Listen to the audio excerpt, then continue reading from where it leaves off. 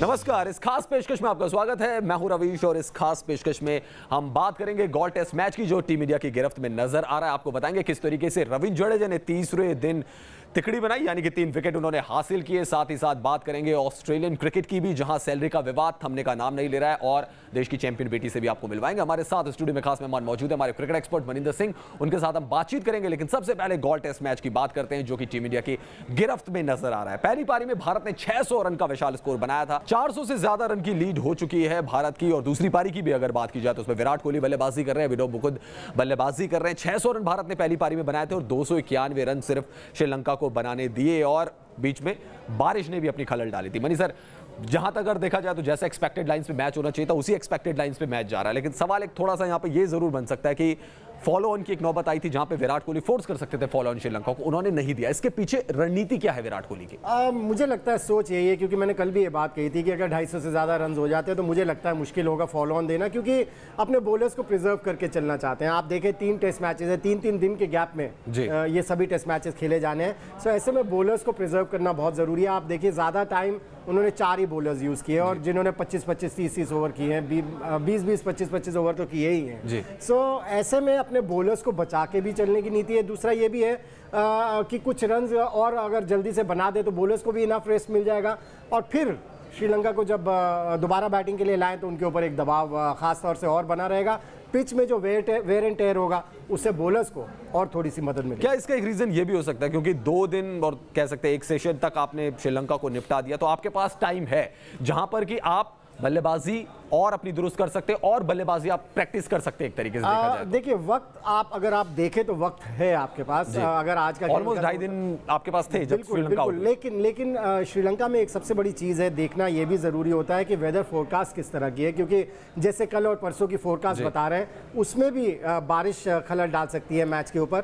लेकिन उसके बावजूद मुझे लगता है कि विराट कोहली ने पहले भी एक बार कहा था कि हम वेदर को देखकर अगर क्रिकेट खेलना शुरू करेंगे तो फिर हमारे फैसले गलत होते चले जाएँगे और वेदर को ध्यान में नहीं रखा है, केवल अपने बोलर्स के लिए आई थिंक रेस्ट उन्होंने ज़रूरी समझा। जी हाँ और भारत के लिए अगर देखा जाए तो कोई दिक्कत नहीं हो रही है भारत के बल्लेबाजों को। सेकंड इनिंग में ज़रूर शिखर धवन जल्दी आउट हो गए। अभिनव मुकुंद वहाँ पे बल्लेबाजी कर रहे हैं। चेतेश्वर पुजारा, जो दोनों बल्लेबाज जिन्होंने शतक बनाया था पहली इनिंग में, दूसरी इनिंग में वो नहीं चल पाए। लेकिन बात करते हैं जडेजा की, क्योंकि अगर तीसरे दिन भारत का कोई गेंदबाज इंपैक्ट छोड़ने में कामयाब रहा तो वो रविंद्र जडेजा है। तीन विकेट उन्होंने चटकाए और जो टेल थी वहाँ पर श्रीलंका की, उसको खत्म कर दिया। वैसे हर सीरीज़ से पहले रविंद्र जडेजा एक नए स्टाइल के साथ आते हैं, एक नए लुक के साथ आते हैं और ये उनका डिफरेंट लुक गॉल टेस्ट में नज़र आ रहा है। लेकिन मनी सर, एक चीज़ तो है रविंद्र जडेजा के बारे में कि शायद वो भी ये मान चुके हैं कि मैं ऑलराउंडर भी नहीं हूँ शायद मेरी बल्लेबाजी में इतनी ज़्यादा अहमियत नहीं है लेकिन गेंदबाजी से मैं इम्पैक्ट डालूँगा और मैं आपका सेकंड स्पिनर तो हूँ अश्विन के बाद। आ, जब 100 परसेंट फिट होते हैं तो इनको बॉलिंग करते हुए देख के मज़ा बहुत आता है क्योंकि बड़ा एक ईजी सा एक्शन है बहुत रिदमिक एक्शन है और जब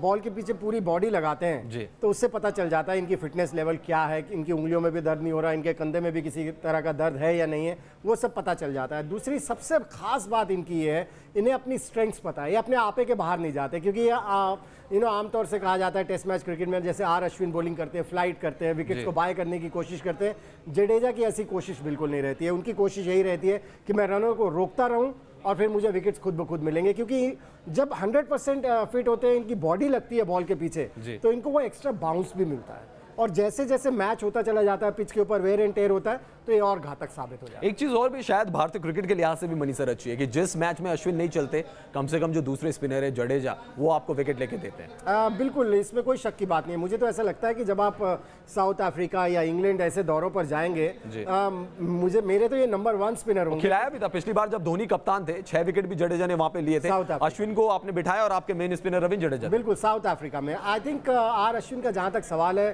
मुझे भी अब लगने लगा है। पहले मैं ये कहता था कि अगर इनसे बातचीत की जाए, इनसे कम्युनिकेट किया जाए तो ये अच्छी पिचेस के ऊपर भी आपको विकेट्स लेके दे सकते हैं, लेकिन वो विश्वास इनका कोई भी नहीं जगा रहा है। ऐसे में मुझे लगता है कि जडेजा आपके नंबर वन स्पिनर होंगे, जब आप England South Africa New Zealand जैसी कंट्रीज़ में जाते हैं। अगर अपनी बैटिंग के ऊपर और सुधार कर लें तो बहुत बड़ा एक एसेट हो सकते हैं टीम के जी हाँ बल्लेबाजी से क्योंकि डोमेस्टिक क्रिकेट में बहुत ज़्यादा रन बनाए रविंद्र जडेजा ने। ट्रिपल हंड्रेड भी उनके नाम है। बल्लेबाजी का औसत भी ज़बरदस्त है। लेकिन जब इंटरनेशनल क्रिकेट में आए तो यहाँ पे मेन रोल शायद स्पिनर वाला नज़र आता है। बल्लेबाजी पे इतना फोकस नहीं है। लेकिन बात करते हैं उस खिलाड़ी की जिसने डेब्यू किया गॉल टेस्ट में। बल्लेबाजी से कल धमाल मचाया था और जब गेंदबाजी का मौका मिला तो वहाँ भी विराट कोहली को विकेट ला दिया। ज़्यादा बड़ा धमाल नहीं है लेकिन जो आपने प्रदर्शन किया आपने बताया कि आपके अंदर टैलेंट है आप टेस्ट क्रिकेट खेल सकते हैं। मनी सर इससे अच्छा डेब्यू कह सकते हैं कि आपने 50 रन भी बनाए और आपने एक विकेट भी लिया। देखिए जितना उनको मौका मिला उसमें पूरी तरह से खड़े उतरे। बैटिंग में भी तेज़ी से रन बनाए और जैसे आपने अपने पैकेज में भी कहा कि उतने तेज़ी से उन्होंने रन बनाए इसीलिए इंडिया 600 का आंकड़ा भी पार कर सकी और टी से पहले ही पार कर लिया था दूसरे दिन।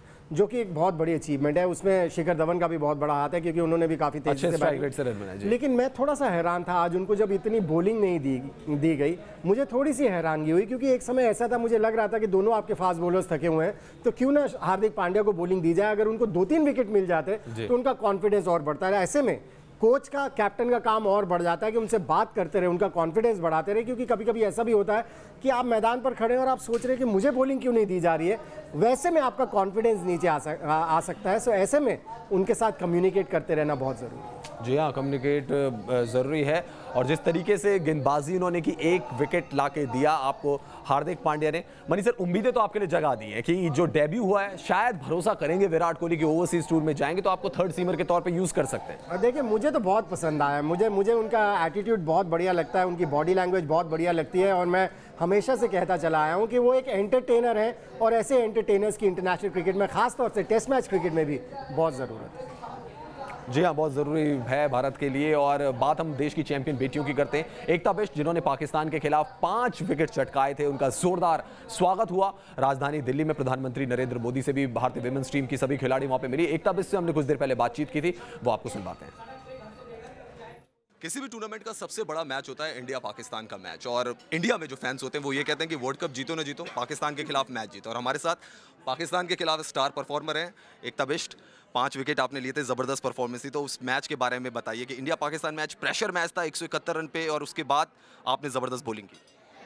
जैसे 170 स्कोर हुआ तो मैं बाहर यही कह रही थी, चलो अभी अपने पास बॉलिंग है और करना ही है। पर जब हम ग्राउंड पे उतरे तो हम सबका यही था कि ज़्यादा से ज़्यादा डॉट बॉल्स खिलाना है और डॉट बॉल्स खिलाएँगे तो उनके अगर शुरू में दो, एक दो विकेट गिर तो उनकी मॉरल डाउन हो जाएगा और हम लोगों ने वैसे ही किया। शुरू में उनके विकेट लिए तो लास्ट तक फिर वही कैरी हमारी तरफ़ से होते ये पाकिस्तान की टीम बड़ी पसंद आती है आपको शायद एशिया कप में भी five wicket haul World Cup में भी फाइव विकेट हॉल हाँ उनकी भी एक प्लेयर ने यही बोला था कि इंटरनेशनल क्रिकेट हमारे लिए खेलने आई है क्या पाँच विकेट लेती है हमेशा तो हाँ अभी तो जैसे हम लोग को कोई भी टीम हो मुझे यही रहता है कि टीम के लिए करना है और टीम को मतलब जैसे भी हो टीम को जीत दिलानी है। अच्छा यू बिलोंग टू उत्तराखंड और वहाँ पर इतना ज़्यादा स्कोप नहीं है पहाड़ों में तो आप वैसे भी क्रिकेट इतना ज़्यादा पॉपुलर नहीं रहता है। वहाँ से क्रिकेट खेलना स्पिनर बनना ये सब कैसे जर्नी रही?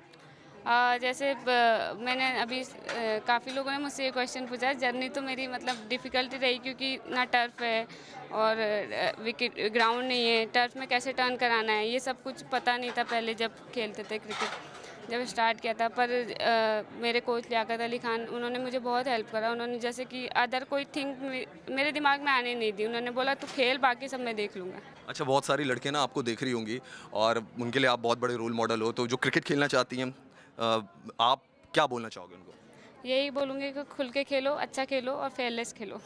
और सैलरी का विवाद जो है इस वक्त ऑस्ट्रेलियन क्रिकेट में घमासान मचा रहा है। डेविड वॉर्नर ने कहा है कि एक प्रस्ताव उनकी तरफ़ से भेजा गया था क्रिकेट ऑस्ट्रेलिया को, लेकिन क्रिकेट ऑस्ट्रेलिया ने उनकी मांग ठुकरा दी है। अब ऐसे में ऑस्ट्रेलिया के क्रिकेटर्स पर बेरोजगारी का संकट बढ़ गया है। वहीं बांग्लादेश का दौरा और एशेज सीरीज़ भी खतरे में पड़ती हुई नज़र आ रही है।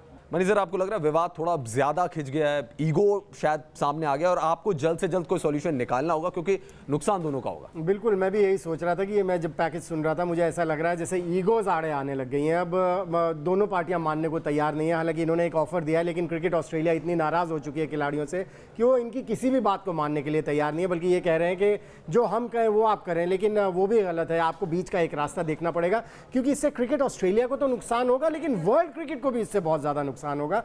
क्योंकि अगर आपकी सेकंड स्ट्रिंग टीम जाती है बांग्लादेश या एशेज में खेलती है तो उतना मज़ा नहीं रहेगा क्रिकेट में। और क्रिकेट में इंटरेस्ट वैसे ही टेस्ट मैच क्रिकेट की अगर आप बात करें तो कम होता चला जा रहा है। इससे इससे और कम हो जाएगा। सो कुछ ना कुछ तो फैसला करना ही पड़ेगा।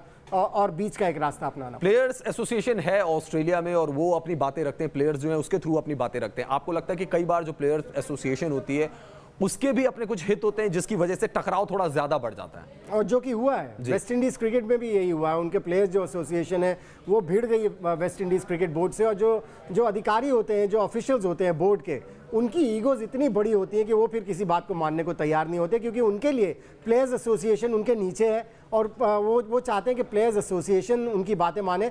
लेकिन मेरा मानना ये है कि प्लेयर्स एसोसिएशन प्लेयर्स के बीच में और बोर्ड के बीच में एक ब्रिज होना चाहिए। और जैसे मैं बार बार कहता चला जा रहा हूँ कि अगर कोई विवाद हो रहा है तो बीच का रास्ता अपनाने की कोशिश होनी चाहिए और ईगोज को ठंडा करने क्या ये मांग सही है मनी सर ठीक है महँगाई बढ़ रही है एक्सपेंसेस जो है वो ज़्यादा बढ़ रहे हैं। और जो खिलाड़ी कह रहे हैं ऑस्ट्रेलिया के कि आपने अपनी जो इनकम है वो बढ़ा ली है उसका शेयर हमें मिलना चाहिए। सवाल ये कितना शेयर मिलना चाहिए? आई uh, थिंक uh, ये एक रेवेन्यू uh, का एक तरीका है कि 26 परसेंट शेयर टेस्ट प्लेयर्स को मिलना चाहिए और फिर कुछ परसेंट फ़र्स्ट क्लास क्रिकेट में जाना चाहिए और बाकी जो है वो बोर्ड के पास रहना चाहिए। सो so, प्रॉबली उसी तरह की मांग कर रहे हैं या उससे ज़्यादा मांग कर रहे हैं जिसकी वजह से इतनी ज़्यादा प्रॉब्लम हो जी हाँ प्रॉब्लम है और अगर ऑस्ट्रेलिया इस प्रॉब्लम को सॉल्व नहीं करेगा बांग्लादेश टूर है उनके सामने एशेज सीरीज़ है और डेविड वॉर्नर तो बहुत पहले कह चुके हैं कि फिर आप एशेज में अपनी सेकेंड स्ट्रिंग की जो लाइनअप है उसको भेजिए हमारे भरोसे मत बैठिए। मनी सर हमारे साथ जुड़े हुए थे। आपका बहुत बहुत शुक्रिया। फ़िलहाल इस खास पेशकश में तई न्यूज़ नेशन पर खबरों का सिलसिला जारी है। नमस्कार।